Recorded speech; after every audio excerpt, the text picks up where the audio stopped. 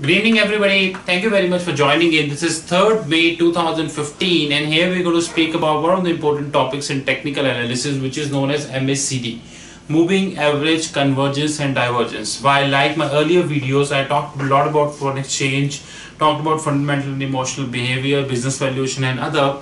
Today, I'm going to speak about one of the important topics of technical analysis, which is MACD. Well, from this side, I'm Rahul Magan, working as a corporate treasurer and at the same time I'm running my foreign exchange foreign exchange academies which is foreign exchange Maverick thinkers on LinkedIn WhatsApp and YouTube.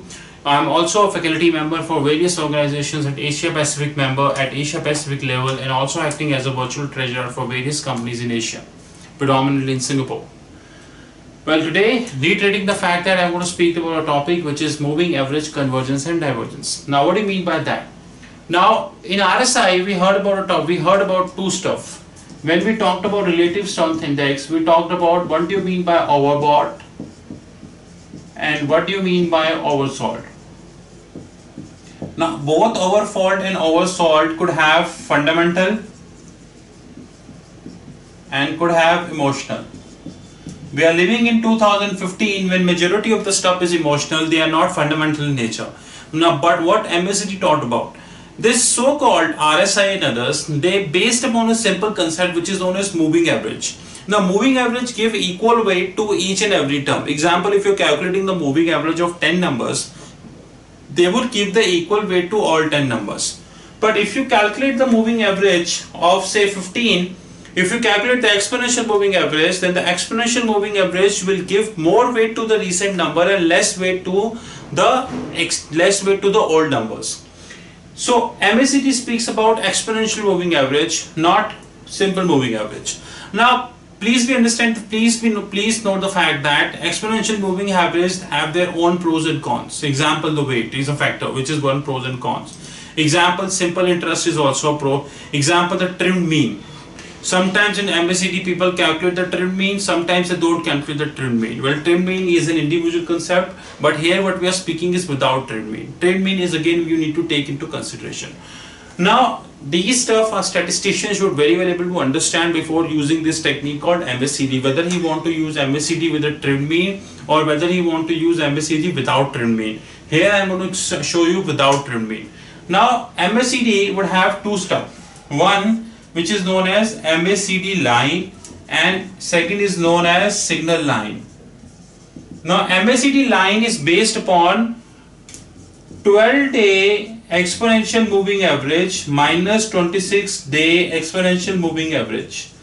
Now please be note that as a corporate treasurer I am telling you 12 minus 26 because this you will find in the books but please be note that books may or might not correct because you are in 2015 when the volatility is, is at extreme pace. So there can be 100% probability that you may have you may have 12 and 26 but they might not hold true for any asset for every asset class which you are holding. Asset class refer to something which you can buy and sell, foreign exchange, interest rate, commodity, each these commodity, gold, silver, platinum, these all are the asset classes. So this may or might not hold true for all asset class. Second refer to a signal line which effectively means 9 day exponential moving average. Now what do you mean by MACD? MACD means your so-called MACD line minus so-called signal line. I am simplistically referring 12 minus 26 minus 9. Now this MACD greater than 0, it means you buy and this MACD less than 0 which means you sell. But please be note that this may or might not hold true. Again like my earlier videos we spoke about what do you stop loss, what do you mean by trailing stop loss, how can you adjust stop loss and trailing, trailing stop loss with your so-called uh, overbought and oversold signal that one need to understand. Secondly, as a proprietary trader or as a corporate trader, as a position trader or a day trader, you need to be immediately understand the fact that the stuff which is happening is fundamental in nature or the stuff which is happening is emotional in nature. Now, if the stuff is in fundamental in nature, then 12 and 26 may not hold true. Take a very simple example. Today euro is trading at 1.12. One good news come, it will go to 1.15. One bad news would come, it will go to 1.10 or may go to 1.06 as well, where people speak about that it would it would touch the parity. On the other hand, if it is emotional in nature, or sorry, the other example of emotional, if it is fundamental in nature, then you know, fine, Greece would exit, we would surely go to 1.06. There is no other opinion. Fine, if fundamentally Greece, has, Greece is going to be with us, or the other countries are going to be with us in in uh, in in European Union, then Euro would may go to 1.15 level. Here comes overbought and oversold. So we, we have to be very much careful and we have to very well understand the fact that this MACD is not all about 12 minus 26 which is MACD line. It is not all about 9 exponential moving average. You would reduce 12 minus 26 with 9. If it is greater than 0 you would buy. If it is less than 0 you would sell. Now you need to be very much particular to understand where the things are happening. You need to add one more thing which is known as either stop loss or you need to add which is known as trailing stop loss. Please be note that this so-called MACD, this RSI, these all are oscillators in nature.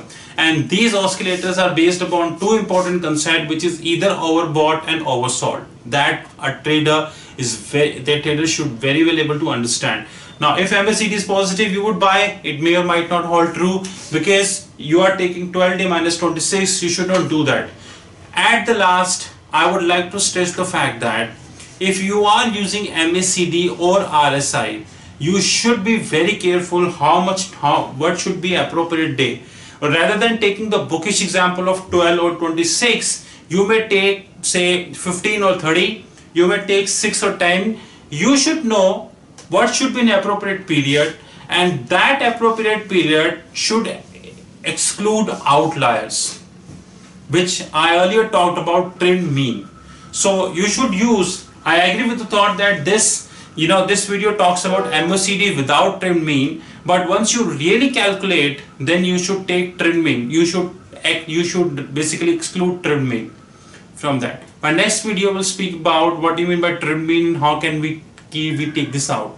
Well again thanks for your time. You're welcome to give me a call at 91 which is an Indian code 9899242979 and 8 I'm re-stressing the fact that we uh, we are now turning out to be amongst top 10 YouTube uh, groups in this world and are launching our own online foreign exchange in the treasury course. You're welcome to contact me at 919899242978 if you're interested in any online treasury course. Thank you.